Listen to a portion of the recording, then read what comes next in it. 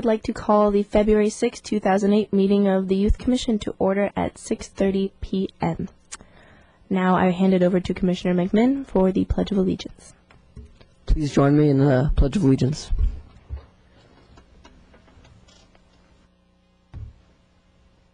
Pledge allegiance to the flag of the United States of America and to the republic for which it stands, one nation, under God, indivisible, with liberty and justice for all. Thank you, Commissioner McMinn. I would like to have our uh, staff coordinator, Francine Spiegel, take roll. Thank you. Commissioner Athar? Commissioner Garvin? Commissioner Hatland? Present. Commissioner Johnson? Commissioner Liu? Present. Commissioner McMinn? Present. Commissioner Morrison? Commissioner Rose? Here. Commissioner Sadwick? Here. Commissioner Sassoon? Present. Commissioner Sate is absent. Commis- Commissioner Scilacci? Present. Commissioner Wall? Here. Commissioner Martinez? Here. And Commissioner Petrus? Present. Thank you. Thank you. We will now move to public comments with Commissioner Wall. Are there any public comments? There being none, let's move on. Thank you. Now we will move to school and liaison reports with Commissioner Liu. Um, so Commissioner Morrison's going to give us our TA report. Okay, there's a basketball game tonight at TO versus Simi. Well, girls are at home, boys are away, so good luck TO. Um, academic, Acadeca played placed fifth in a county competition. Talent show tryouts are at lunch all this week in room A6. Link crew applications are due Friday, so see Miss Cooper if you haven't already gotten one. Softball tryouts this week, as well as tennis tryouts. Second semester has officially started. Auditions for Into the Woods next Tuesday and Wednesday in the pack.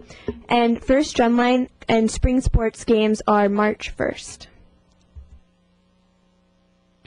Uh, awesome. That sounds very exciting. Uh, we'll go to their crosstown rivals next, and that's Westlake High School uh, with Commissioner Athar. Thanks, Ben. Uh, Westlake High School second semester has finally started. Our Acadeca placed second place and third place, both of our teams this past weekend. Unfortunately, our winter dance was canceled, but we do still have our winter snowcase rally this Friday. That's going to be a lot of fun. Our dance team had a tournament last Saturday, and our choir show had three shows this past weekend with their Mardi Gras three themed shows. Our senior class is holding a senior class fundraiser this entire week. Um, don't don't forget to go to CBK tonight for restaurant night and tomorrow Quiznos. Um, sports tonight is the boys' last soccer game. It's senior night, so everyone get out there and congratulate all your best friends for playing some a good season. Our boys basketball game, our boys basketball team is also having a game today, and don't forget that tomorrow is the last girls water polo game at three o'clock at home. Um, we look forward to having a fun February, and at the end of this month, Mock Trial will be competing in their tournament as well. Uh, thanks, Ollie. Uh, now we have, uh, lastly, our most lovely campus, and we have Commissioner Wall giving the report for La Reina. Today we had our Ash Wednesday liturgy and honors assembly. Um, tomorrow is an exciting day for eighth graders because we have our science fair. After school, all projects are open to the public for viewing in the gym. Next Thursday, on Valentine's Day, we have a variety of activities and a picnic on the front lawn. Lastly, next Friday on the 15th, we have our spirit rally based on the theme, I am woman, hear me roar. So get spirited. Uh, thanks. And next we have our third, uh, Center Advisory Report with uh, Commissioner McMinn. Thanks, Ben. Here's a quick update of some things that have happened in the past month at the fabulous Thousand Oaks Teen Center. Our Laker trip on Sunday, January 27th filled up, and all kids had a great time watching the Lakers take on the Cavaliers. The next day, Monday, January, January 28th, our snowboarding trip filled was, which was to Mountain High. The Mountain High trip was covered by the Ventura County Star, and a video recap of the trip is posted on the Teen Center's website, thousandoaksteencenter.com. We hosted a high school concert on Saturday, February 22nd, or, excuse me, February 2nd, 22nd, hasn't happened yet, which featured the Braces, Jetstream, and their headliner, Drive A. the talent of all three bands was extremely impressive. Our competitive leagues are underway, which this winter, to- winter totals 29 teams. Some upcoming events are our, our Valentine's Day dance on Saturday, February 9th from 7 to 10 p.m., another snowboarding trip on Friday, February 15th from 6:30 a.m. to 7:30 p.m., and a parent team pool tournament on Saturday, February 23rd from 1:30 to 4 p.m. For more information on any of these programs, visit our website at thousandoaksteencenter.com. Um, that concludes uh, uh, this segment of our meeting, and I'll turn the meeting back to Commissioner Sassoon. Thank you, Ben. Uh, now I will turn it over to Commissioner Athar f- to introduce our guest speaker. Thank you. I'd like to introduce Mr. Martinez, our youth outreach worker for the Conejo Recreation Park District and the co-founder of our Conejo Teen Video Festival. Mr. Martinez?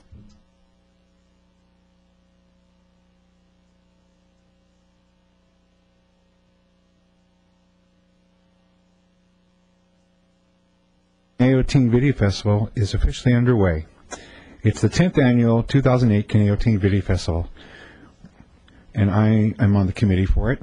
This is 10 years now running that we've had the festival. We've had hundreds and hundreds of teens from all the schools in the Conejo Valley participate, middle school and high school, and the the quality of the videos are improving every year.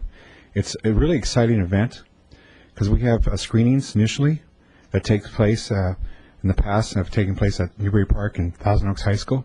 And then what we do is we have the award show at the uh, here at the Civic Arts Plaza. Let me just give you a rundown on the entry criteria for this year. That way, uh, the public will get some information on this. Entries must be original works of art completed between June 1st, 2007 and May 30th, 2008. Entries must be written, directed, and filmed by teenagers, 19 years and younger, not enroll in college full time when the video was made. Adult assistance is limited to minor involvement. Entry categories for the festival are documentary, fiction, music video, and animation.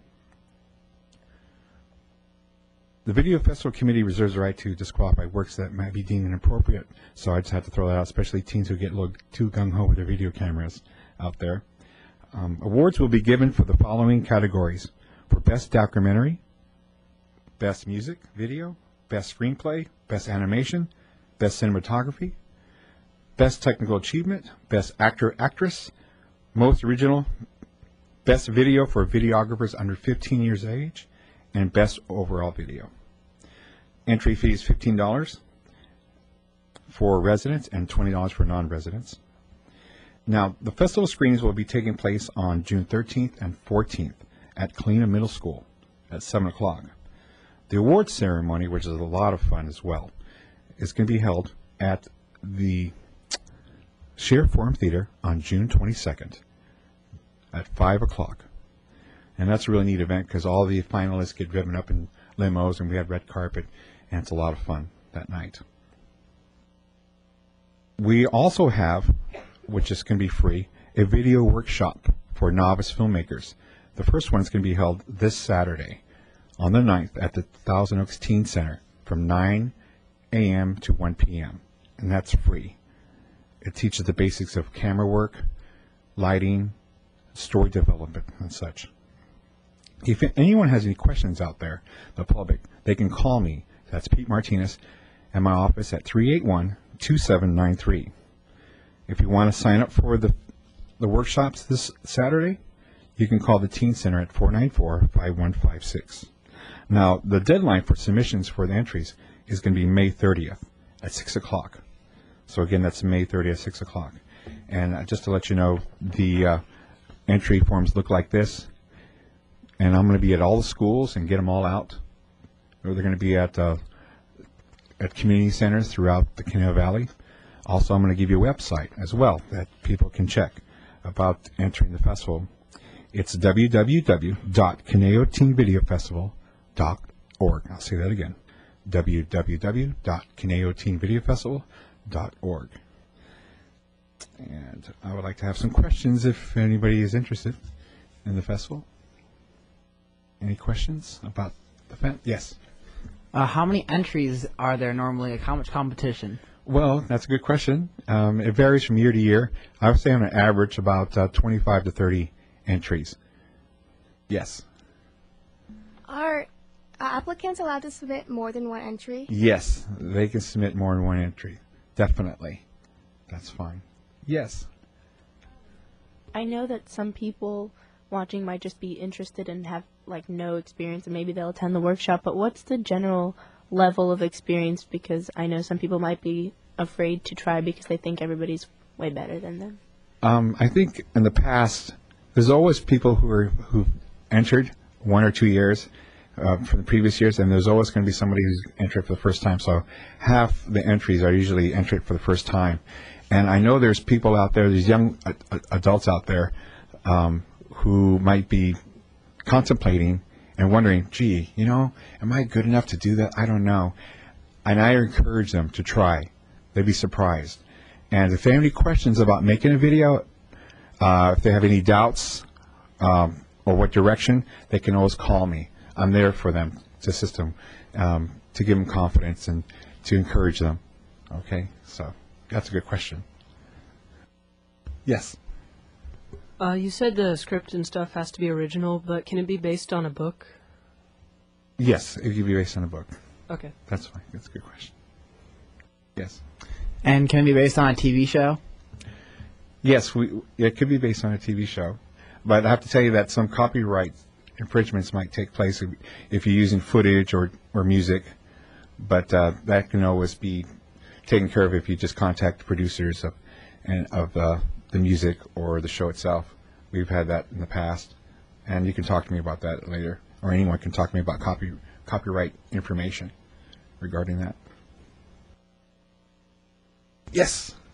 Is there any way to see any of the past videos that have won or just been entered at all? Yes, um, there's definitely anyone can contact me, especially the schools. I'm going to be going around the schools and showing them uh, the videos from last year. Um, and we also recently had a director showcase uh, taping of uh, the winners from last year, and it's going to be it's going to be aired through uh, Time Warner as well. And just to let you know, the sponsor of the event is the Conejo Team, Conejo Recreation and Park District, the City of Thousand Oaks Arts Commission, and Time Warner Cable. Yes. Seems like uh, collaboration something that's very encouraged by this festival. Um, is there a limit to the number of people who can work on it? And um, if a lot of people work on it, who who gets the credit for? Uh, these are awesome questions. Great questions.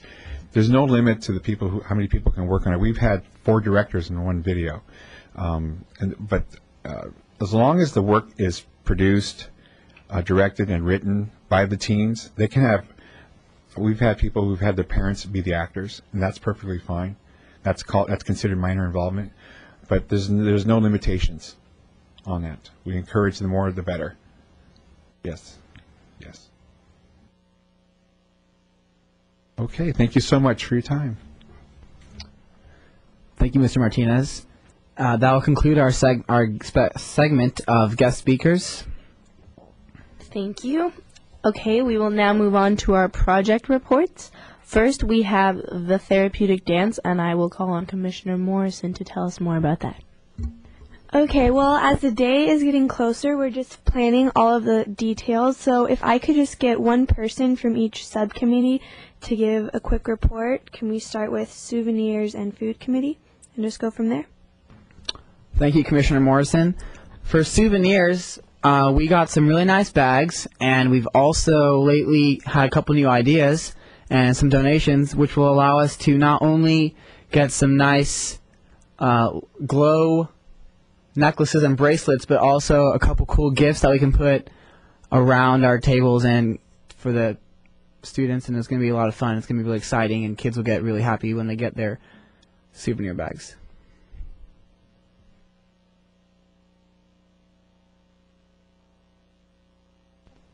Um, so I'm doing food, and uh, we want to thank Amici's and uh, and uh, Trader Joe's for helping us out. Uh, we uh, have uh, um, used them for our our event. Thank you very much, and we're planning, and we have good stuff for for eating. So yeah.